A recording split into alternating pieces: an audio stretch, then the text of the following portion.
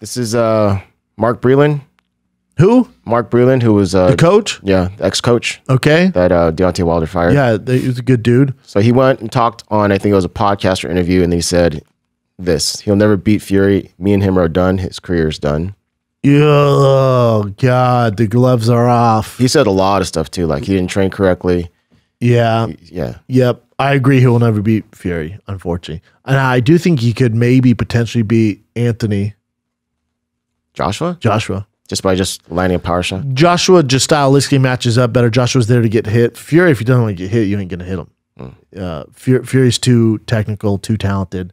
Uh, once you beat a man like that, it just he just completely dominated him. It did did what beat him at his own game. Absolutely dominated him. Took away the right hand. God, that's heartbreaking for the coach to say that. Yeah. I'll never beat him. Uh, me and him are done. His career is done. Jesus Christ, dude. He also said some, something that was sort of controversial. He Did you was, listen to the podcast? I just read the the article. He said like um the guys, some of the guys that Deontay fought and won, he could have also won against too, but in a different time. you know, Okay, if he was that's that. Well, that's a bummer. Yeah. that's a bummer because he's a good coach, but that's a huge bummer because you can't coach. You know, you're Mm-hmm. you coaches coach, fighters fight. God damn it! What a shit situation. Wilder's situation, the way he's dealt with the loss, the way his coach is coming out now. I mean, just and I love Wilder, man. It's such a shame.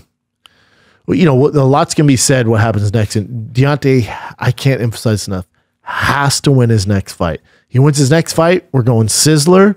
He's, he can fight Joshua. He can fight Fury again. But if he loses a Dillian Whyte, which is a tough fucking fight, then it's yeah. Then his coach is probably right. His career's done. But he beats him. It's not done, dude. And I I'm rooting for Wilder, man. I, I think his coach is off. I don't think he's done. I think he's too talented. He's come too far. He's beat the odds. He's fighting for his daughter still. Uh, I'll, I'll take Wilder in this next fight. So Wilder responded. Oh no, this getting juicy. That's, I guess it's kind of juicy. I'll show you what he did. Miley Cyrus, coach is talking shit. Today's show's popping. Oh no. Chappelle, don't do your hair like that. Yeah. And that's what he wrote. Uh, so he put, "What's understood ain't got to be explained. Ain't got to say a thing. Also make a joyful tune unto the Lord and let the people sing, preach." Okay, Yeah. Well, And then he uh, did a screenshot of this. Deontay Wilder uncoachable says Mark Breland. The beef continues. Yeah. So they're beefing. Okay. Well, that, there's nothing worse when your coach for since you were coming up just shits on you. And says he'll never win against Fury. I agree. He's never beaten Fury. There's just, just shit happens. It's just not in the cards. It's just he's never going to beat him. Fury's never going to fight stupid like he did. Um, in that first fight, he, that's also after a long layoff. So, you know, but I, I do think there's potential for him to beat Dillian Whyte and uh, Anthony Joshua.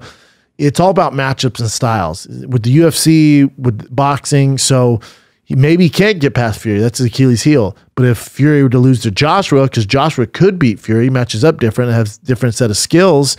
Well, then he could just kind of go around Fury and fight Anthony Joshua and get his fame back and his crown back.